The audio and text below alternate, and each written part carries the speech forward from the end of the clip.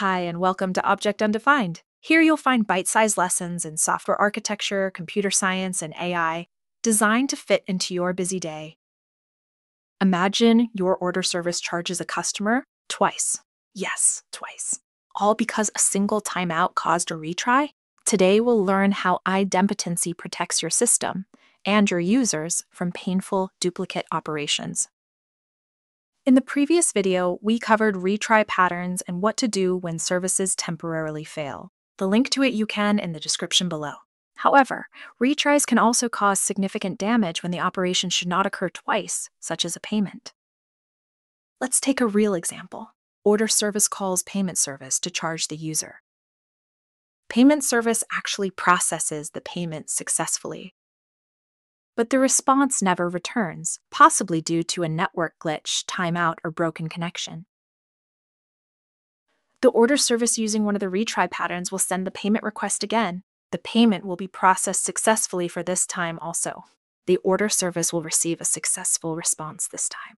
The user will receive the notification, order completed. But the user was charged twice, and they will know about it only from the credit card billing report. Obviously, it will not be a pleasant surprise and may harm your company's reputation.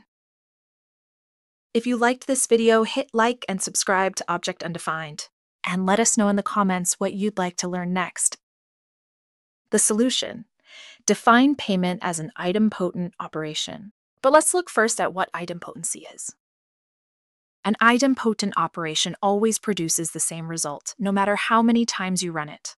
Let's take, for example, an SQL query run it one time, run it 10 times, the result is still age equals 30.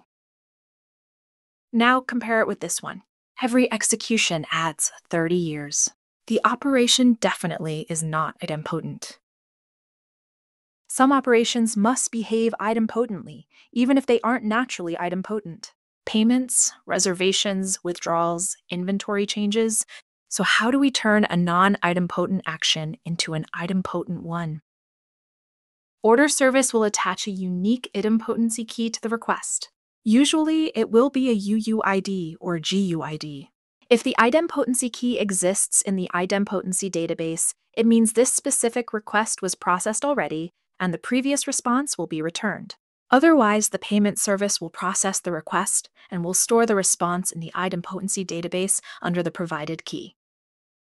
We just explored an approach where the stored response is returned in case of a repeated idempotent request.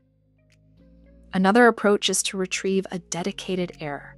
In case of REST, it will usually be 409 conflict, 412 precondition failed.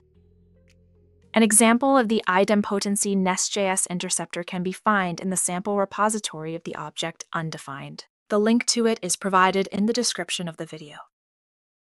So, what are the key takeaways? An idempotent operation is an operation that does not change the outcome given the same input. While retries are crucial for system resilience, they can be disastrous when applied to non idempotent services. To convert a non idempotent operation to an idempotent one, add an idempotency key and track it using a dedicated repository. If you liked this video, hit like and subscribe to Object Undefined. And let us know in the comments what you'd like to learn next. Thanks for watching.